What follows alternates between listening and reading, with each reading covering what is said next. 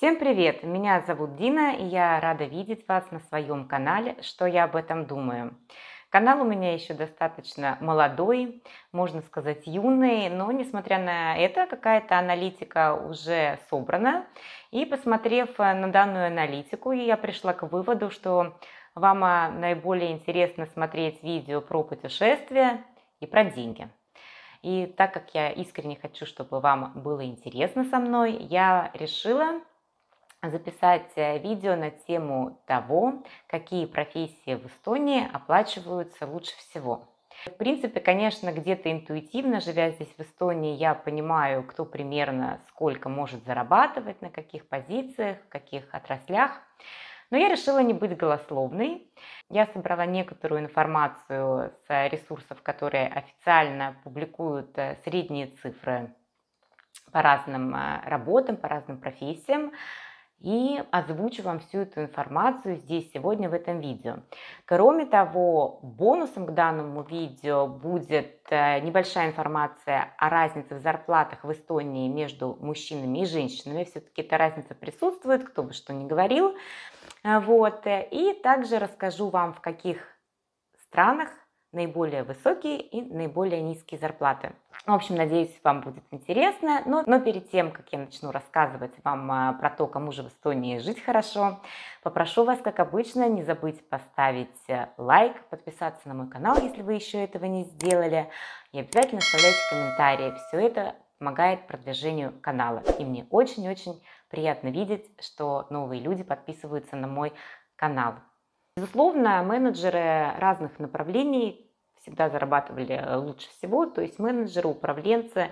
Но я не хочу говорить э, про, именно про управленческие какие-то моменты, потому что, ну, понятно, что директора, менеджеры подразделений – это всегда топовые люди в компании, и, как правило, их труд оценивается далеко выше среднего. То есть IT-директора, маркетинговые директора, директора логистики. В общем, всевозможные директора, они они всегда имели зарплаты ну, на порядок выше. А я хочу именно в своем видео обсудить конкретные профессии и позиции и привести конкретные цифры. Да, сразу оговорюсь, что это средние цифры по данным направлениям. То есть вы должны понимать, что кто-то на этих же позициях может зарабатывать больше, кто-то может зарабатывать э, меньше. Это такой срез. Цифры будут все в нету, то есть э, это цифры, которые уже человек получает э, на руки с вычетом всех налогов. Да? Это вот важно понимать, потому что налоги, они могут съедать достаточно большую сумму от зарплаты, но я буду озвучивать именно конкретно чистые деньги, которые уже приходят на счет работнику. И я не знаю, известно вам или нет, для тех, кто живет в Эстонии, это, безусловно, не тайна. А, наиболее хорошо оплачиваемые позиции всегда для тех, кто работает а, в IT-индустрии. На сегодняшний день те, кто так или иначе связан с IT-сектором, живут а, наиболее хорошо, наиболее комфортно, наиболее успешно. И также, проводя свое маленькое расследование по поводу того, где же хорошо платят, э, я поняла, что кроме IT-сектора, это будет вторая, наверное, такая широкая ветка, где хорошо можно зарабатывать, это сектор финансов. И, как я и обещала, я озвучиваю 5 наиболее хорошо оплачиваемых э, профессий в Эстонии, и начну я с конца. Итак, и на пятом месте на пятом э, месте у нас э, будут работники банковского сектора, финансовые аналитики. Их доход составляет 2288 евро нетто. Напоминаю, это средняя цифра, то есть кто-то может зарабатывать больше, а кто-то меньше. Э, на четвертом месте также находятся работники финансового сектора, финансовые контролеры, которые могут работать совершенно ну, в, разном, в разных направлениях, экономики, финансов, бухгалтерия. Ну, все это связано именно с финансовым контролем. И средняя зарплата на этих позициях составляет 2409 евро в месяц. Ну, что тоже считается неплохо, так как я уже говорила вот в этом своем видео, средняя зарплата брутто это 1500 евро, то есть вычесть еще налоги, это получится порядка 1300 евро в месяц. Таким образом, да, финансовые работники принципе, по эстонским меркам зарабатывают неплохие деньги. И продвигаясь выше, мы переходим к IT-сектору. наиболее, наверное, востребованному и, можно сказать, по праву золотому сектору Эстонии, значит, IT-сектору. И на третьей позиции это будут системные администраторы. Честно сказать, я вот так до конца и не понимаю, чем именно занимаются системные администраторы, потому что мне кажется, что это очень широкое название. Вот если вы конкретно понимаете, о чем идет речь, обязательно напишите мне в комментариях, потому что зарплаты на данной позиции в среднем составляют 2506 евро нетто. То есть, опять-таки, кто-то больше, кто-то меньше, но в целом вот так вот. А, и на втором месте это ИТ-аналитики с зарплатой 2700 евро в месяц нетто, да, чистыми. И замыкает эту золотую пятерку ИТ-архитекторы с зарплатой 4000 евро нетто в месяц, тоже средний показатель. То есть есть ребята, которые ну, на данной позиции могут зарабатывать значительно больше, я думаю. Так что я не знаю, девушки, если вы в активном поиске, видимо, ищите себе в мужья ребята из IT-индустрии, потому, потому что именно ну, на таких IT-позициях в Эстонии, по крайней мере, можно зарабатывать наиболее, скажем так, приятные суммы. Вот. И как я вам и обещала, а, расскажу вам про то, что когда я училась, э, ну это уже было лет 10-11 э, назад, э, училась я в техническом нашем университете, не помню, что было за предмет, но вот тогда, получается, да, 10 лет назад, а, нам рассказывали про то, что разница в зарплатах между мужчинами и женщинами в Эстонии составляла 25%. И это очень большая разница относительно того, что мы стремимся в цивилизованную Европу. Эти данные показатели, по крайней мере, говорят значительно ниже. А на сегодняшний день эта разница в зарплатах сократилась между мужчинами и женщинами. И я вам приведу цифры относительно средних зарплат в Эстонии, то есть представьте, вот мужские зарплаты собрали, поделили, женские собрали, поделили, и вот что вот как бы по среднему получается зарабатывают мужчины и женщины, и эта разница составляет более 20%.